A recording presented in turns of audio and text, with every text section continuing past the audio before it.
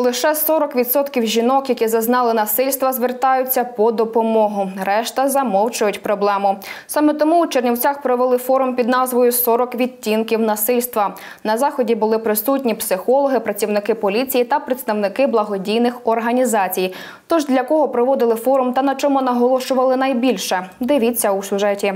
Інформований, а значить озброєний. Саме під таким гаслом сьогодні пройшов молодіжний форум протидії насильству. Захід відбувся завдяки співпраці департаменту соціальної політики із міжнародними партнерами. Говорили про усі можливі прояви домашнього насильства.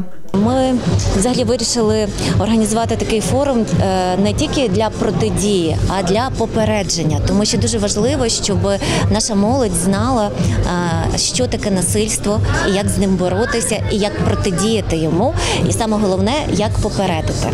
Згідно з офіційними даними, лише 40% жінок, які зазнали насильства, звертаються по допомогу. Решта замовчують або не розуміють, що це насильство, адже воно може бути не тільки фізичне. В середньому 120-30 людей, які постраждали від домашнього насильства. З цих е, десь 90 чоловік це жінок, 90 осіб, е, 15 там дітей і 20% може бути чоловіків. Ну в більшості це жінки. Особливу увагу на форумі приділили сексуальному насиллю. Під час повномасштабного вторгнення на територію України зафіксували чимало таких злочинів, скоєних російськими загарбниками. Сьогодні, коли Україна перебуває в умовах повномасштабної війни, то такий вид така форма насильства, як е, сексуальне або зґвалтування, воно стало зброєю війни.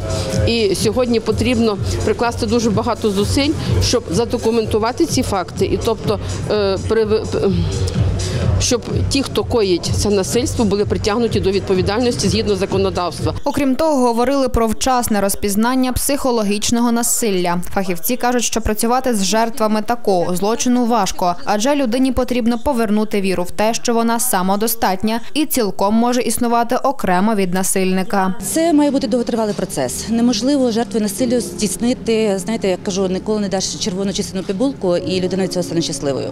Це тривалий процес психотерапевтичний, де потрібно людину обов'язково підготувати до того, щоб вона перейшла з синдрому жертви саме у самоцінність і вибору себе. Загалом захід відвідало 50 осіб. Найбільше серед них було студентів. Світлана каже, що такі форуми є дуже важливими, особливо у такий важкий для країни час. Це кожного разу, по-перше, дозволяє підвищити рівень обізнаності взагалі і не тільки присутніх, а всього населення. Да, подібні заходи. Вони показують наскільки далеко ми просунулися в запобіганні протидії домашнього насильства. Людмила Труфан, Василь Ставчанський. Теми дня ТВА.